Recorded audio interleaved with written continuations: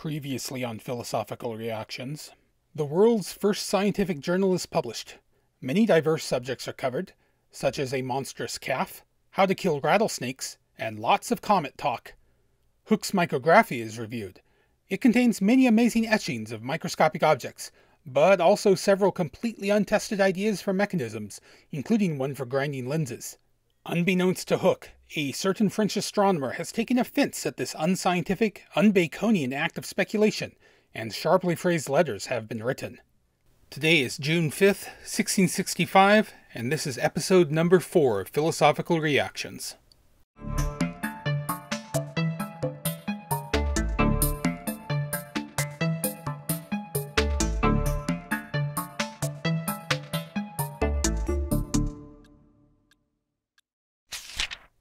Of some extraordinary tides in the West Isles of Scotland, as it was communicated by Sir Robert Moray. A description of the tides between the islands of North Uist and Harris in the Outer Hebrides. Sir Moray had stayed on the island of Berneray in the Strait, or Fretum, or Frith as he calls it, and saw this unusual phenomenon himself. Normally the flow through here is to the east during flood tide, and back to the west during ebb. However, from four days before the quarter moon to four days before the next full or new moon, the flow changes. Now it'll flow easterly for 12 straight hours, through flood and ebb, then reverse westerly for the next 12 hours. He goes on to describe another irregularity where the direction of this flow changes depending on the time of year.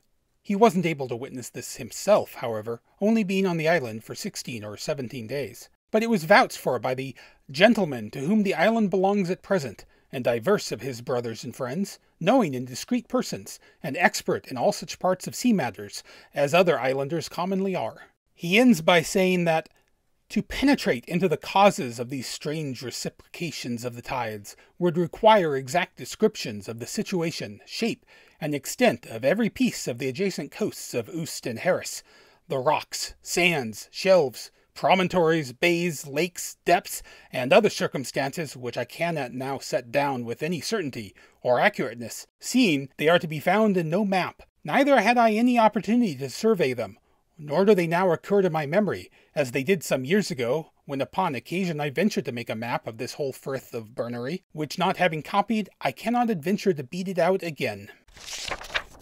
Messire Auzout's judgment touching the aperture of object glasses and their proportions in respect of the several lengths of telescopes. Our favorite figurin Frenchman is back, and he's going to show up in almost every article in this issue. We start here with a table he has produced, showing that the aperture of telescopes does not scale linearly with the length of the telescope.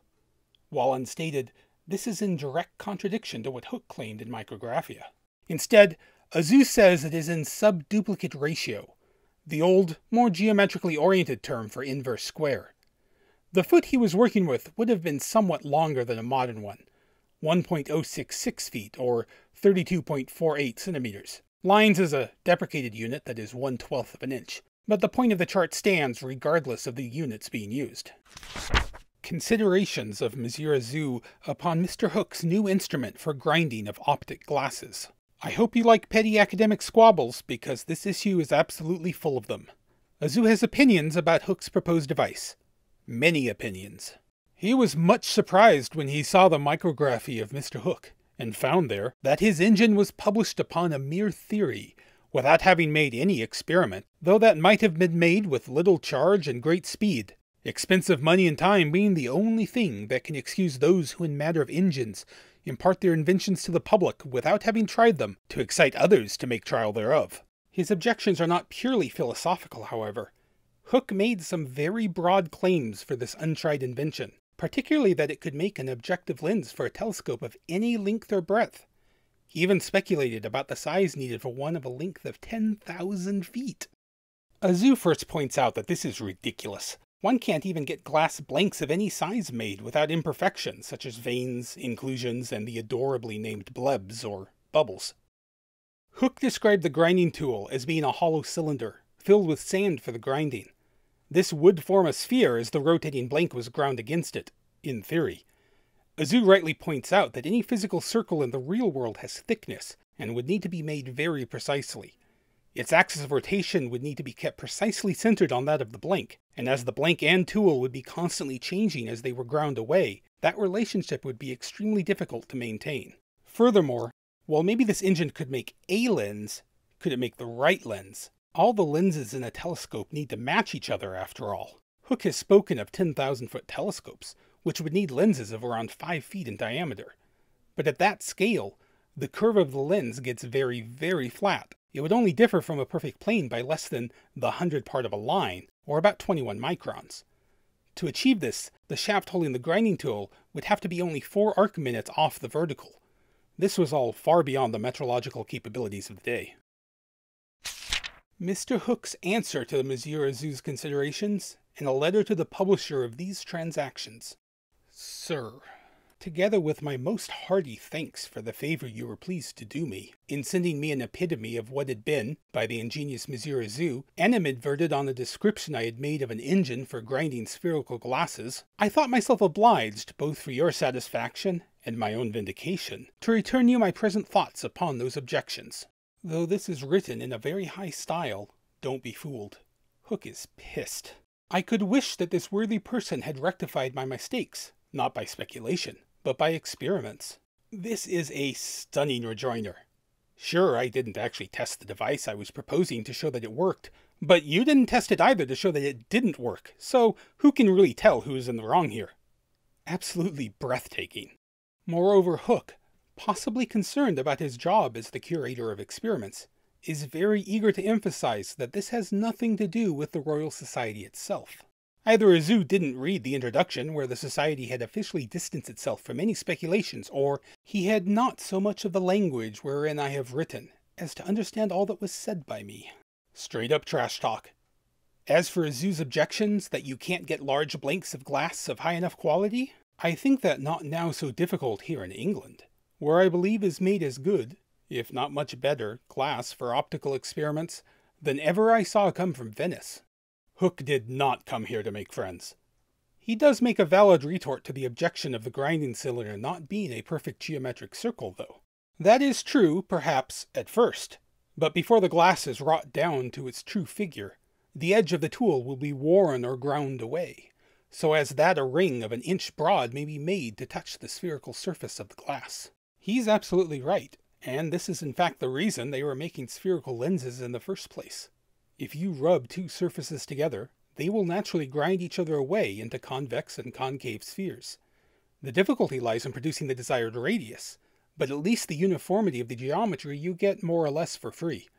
Spherical lenses aren't even the best choice for most purposes, but at this point they were all that was possible.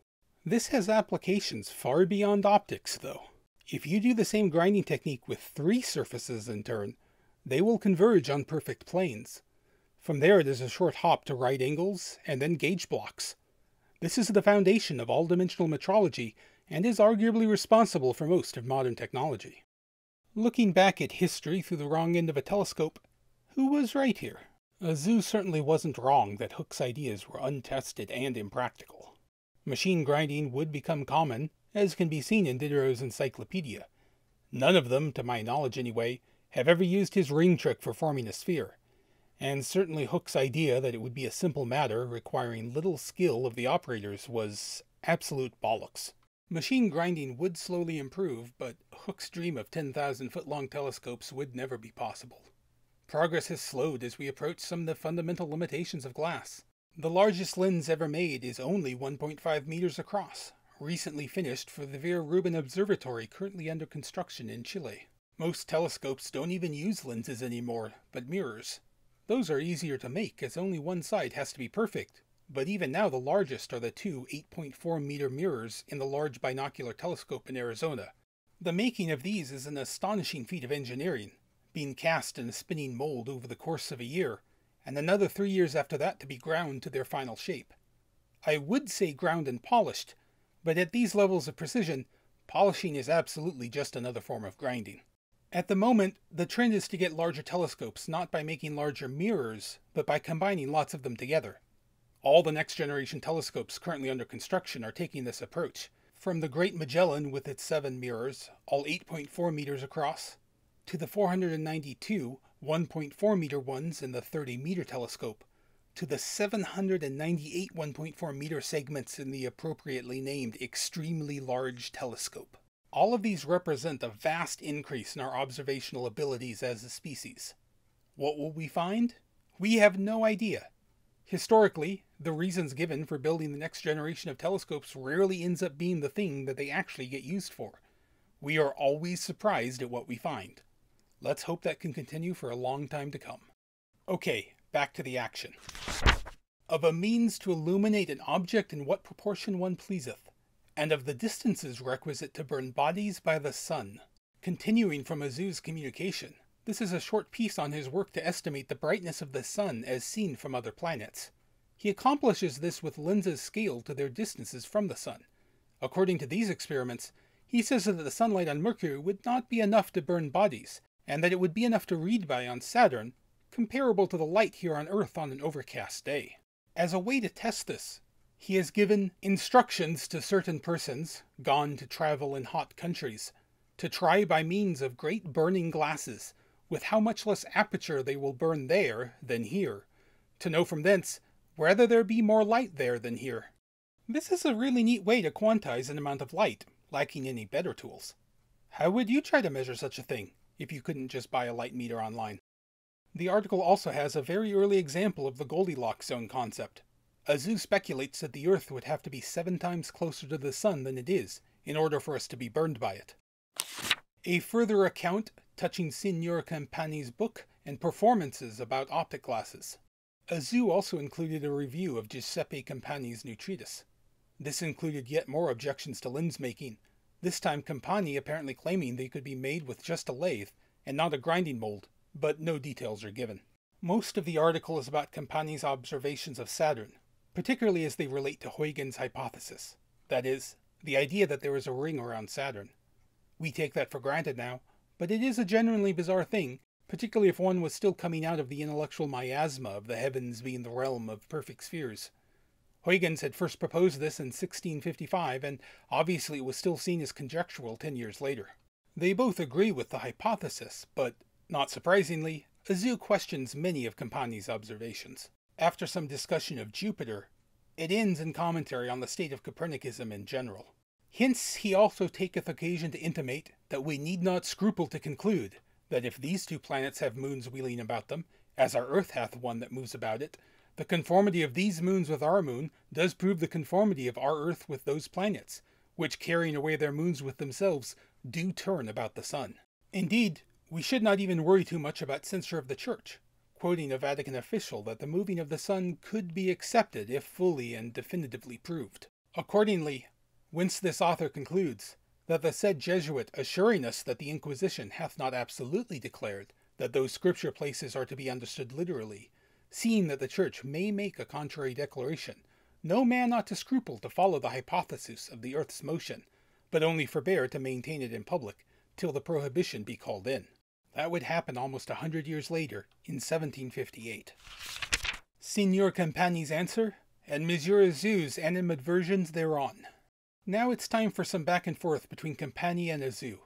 Campani didn't say that he was viewing the shadows of Saturn and its ring, but the rims of those objects, which have different brightnesses and thus stand out. In response, Mr. Auzout does so far acquiesce that he only wishes that his own glasses would show him those differences. Auzout disagreed with Campani's measurements of the shape of the ring. Campani replieth that the glasses of Monsieur Auzout show not all the particulars that his do, and therefore are unfit for determining the true figure. Monsieur Auzout rejoins that he is displeased at his being destitute of better glasses, but that it will be very hard for the future to convince Campani touching the proportion of the ring. Ah, the noble pursuit of truth! An account of Mr. Richard Lower's newly published Vindication of Dr. Willis's Diatriba de Febribus. A short book review asking such questions as whether a fever does consist in an effervescence of blood, and if so, of what kind, whether there be a nervous and nutritious juice. It has also inquired into what the uses of the lungs are in hot animals, and many other such material disquisitions are to be found in this small but very ingenious and learned treatise.